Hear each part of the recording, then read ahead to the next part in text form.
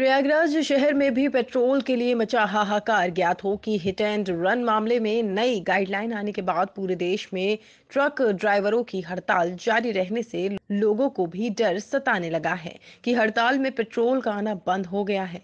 जिससे पेट्रोल के कारण लोगों को ज़रूरी सामग्रियों की सप्लाई बाधित हो जाएगी, जिसे लेकर आम जनता में भी एक भय की स्थिति है। पेट्रोल खत्म होने के बाद उनकी गाड़ियाँ कैसे चलेंगी, जिस कारण सभी पेट्रोल पंप पर भारी भीड़ देखी गई।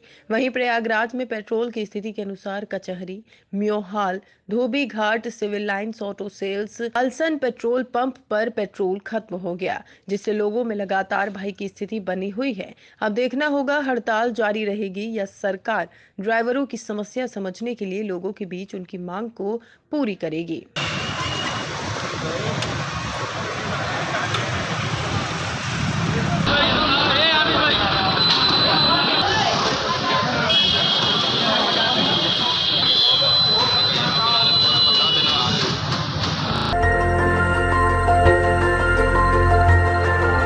देखते रहिए डीबी भारती समाचार।